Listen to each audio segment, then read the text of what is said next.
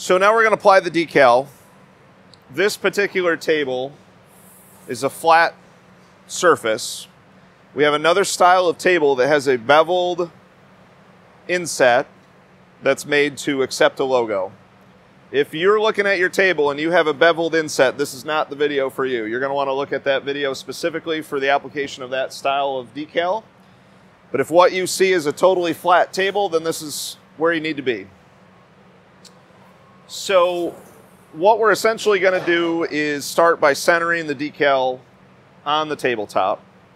And it helps to have a tape measure. And what I'm going to do is I'm just going to kind of measure from the edge of the, the, the table and kind of see where, where I need to be to have it centered.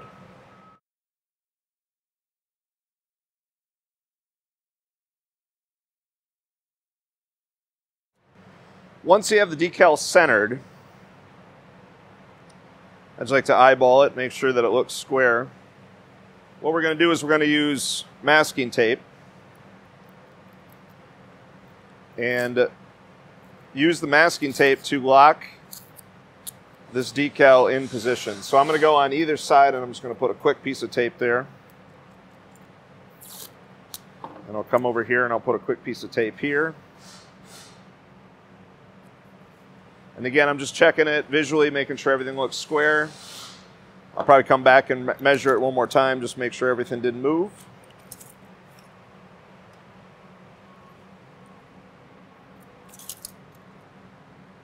Everything's looking good. All right, so now what I'm gonna do is maybe put one more line of tape all the way across this decal. Oops.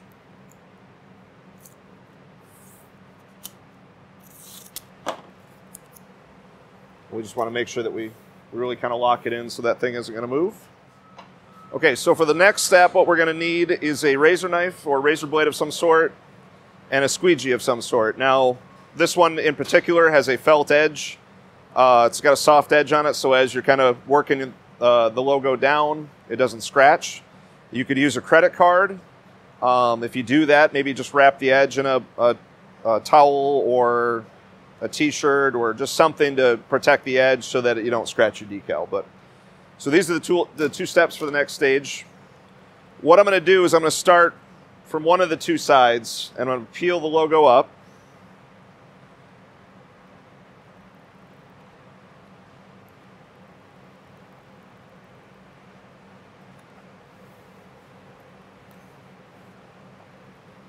all the way back to the tape. And I'm just going to lay it flat back on itself. As you're doing that, you just want to make sure that you don't crease or crinkle the logo. You want to be very careful that you don't, that you don't do that. Um, next, I'm going to take my razor knife. And again, what I'm going to do is just carefully slice this backer off.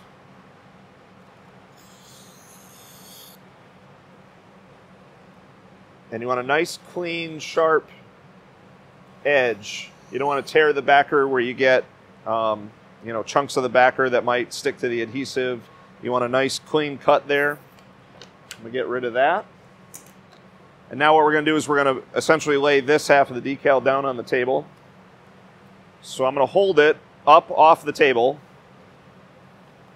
And I'm gonna use my squeegee to start from the middle and kind of work my way to the edge.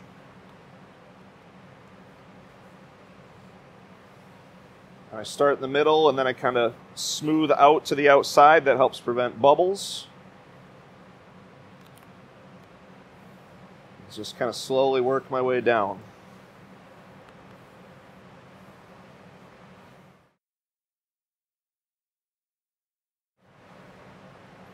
Always pushing from inside out.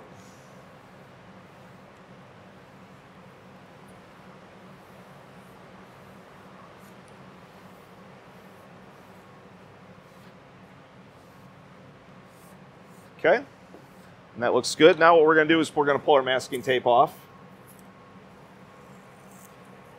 Carefully as to not hurt the logo or the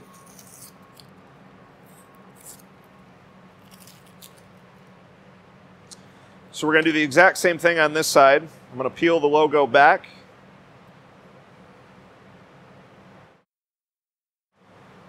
And now what I'll do is Again, very carefully pull this portion of the backer away.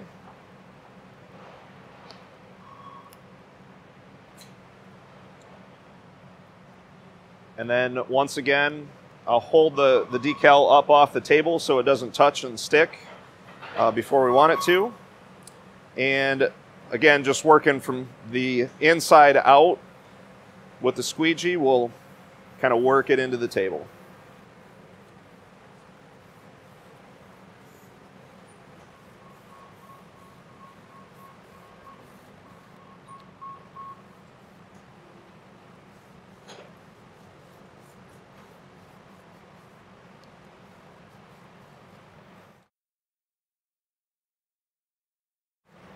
Once it's down, I'll go in, I'll just give it a good firm push and with my squeegee and make sure that all the edges and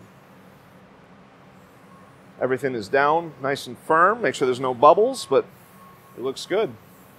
So that's how you apply this tabletop. Um, with this method, it should be ready right away for your athletes. And uh, if you have any questions, feel free to contact Rogers or Impact, and uh, we'll do our best to help you out.